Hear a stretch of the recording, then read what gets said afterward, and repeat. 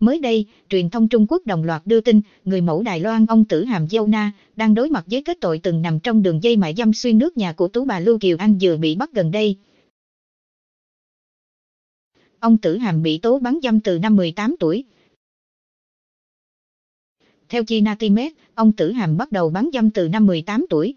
Vào thời điểm đó, ông Tử Hàm chưa nhiều người biết đến nên giá bước đi khách không cao. Thậm chí, nguồn tin tiết lộ, vì người đẹp chính không được la chuộng nên phía môi giới còn phải hạ giá bước để giúp cô kiếm mối. Năm 2015, người đại diện của ông Tử Hàm bị bắt. Người này khai, Tử Hàm đi khách ít nhất 3 lần ở Macau và Đài Trung vào tháng 3, năm và 9 năm đó. Số tiền cho mỗi giao dịch tình ái dao động từ 120.000 200.000 đài tệ 91 151 triệu đồng, trong đó Tử Hàm chỉ thực nhận 70.000 80.000 đài tệ 53 61 triệu đồng. Cũng theo người đại diện, Tử Hàm phải nhiều lần hầu tòa vì kết tội bắn dâm. Nguồn tin cho biết thêm, ông Tử Hàm đã phẫu thuật thẩm mỹ trước khi gia nhập showbiz và không sẵn sàng đi khách như trước. Cô quản hốt hoạt động ở Đài Loan sẽ bị phát hiện.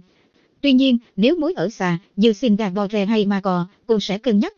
Việc Mỹ nhân họ ông giao kéo cũng một phần để che giấu thân phận. Trước những kết tội bắn dâm, ông Tử Hàm đã báo cáo bác bỏ toàn bộ. Cô tuyên bố, đến tòa với tư cách nhân chứng hỗ trợ điều tra, không hề có chuyện đi khách làm tiền. Không dừng lại ở đó, mới đây chơi Natimet kế tiếp công khai về quá khứ đen tối của ông Tử Hàm.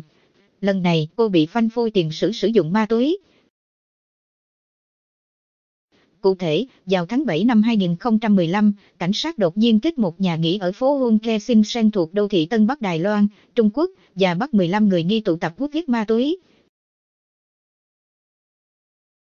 Sau khi có thành tựu xét nghiệm nước tiểu, 12 người âm tính với chất kích thích, còn 3 người có phản ứng với chất amphetamine loại chất kích thích làm tăng tỉnh táo và tập trung, đồng thời làm giảm mệt mỏi và thèm ăn. Đáng nói, ông Tử Hàm nằm trong số đó. Lên tiếng về vụ việc, người đại diện hiện tại của ông Tử Hàm phân trần, khi đó người mẫu chính còn trẻ, đang trong thời kỳ nổi loạn. Do bất đồng với gia đình, ông Tử Hàm tầm thường la cà bên ngoài và bị bạn xấu dụ dỗ. Theo người đại diện, đó là lần trước tiên ông Tử Hàm sử dụng ma túy nên không bị truy tố. Cô sau đó đã chấp nhận vào trung tâm cai nghiện. Người đại diện nhấn mạnh, Tử Hàm giờ đã trưởng thành và nỗ lực rất nhiều cho sự nghiệp. Người này hy vọng mọi người sẽ nhìn vào nỗ lực của cô và bỏ dở cho quá khứ làm lỗi.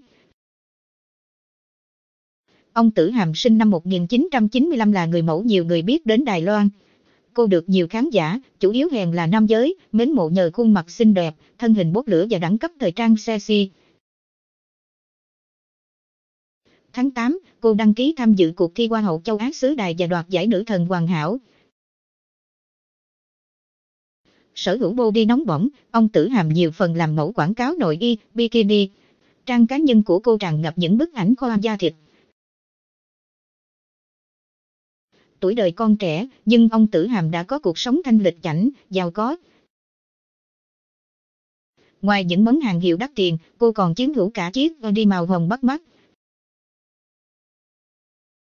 Cô từng gây thiện cảm vì thẳng thừng từ chối trực tuyến đình đám liên thiên nghị khi anh này công khai theo đuổi và hứa chu cấp 100.000 nhân dân tệ tháng gần 350 triệu đồng. Ông Tử Hàm cho biết, đủ sức kiếm tiền để lo cho cuộc sống, trong khi đó, quản lý của cô lại khẳng định, gia đình họ ông giàu có, không cần tiền chu cấp từ người khác.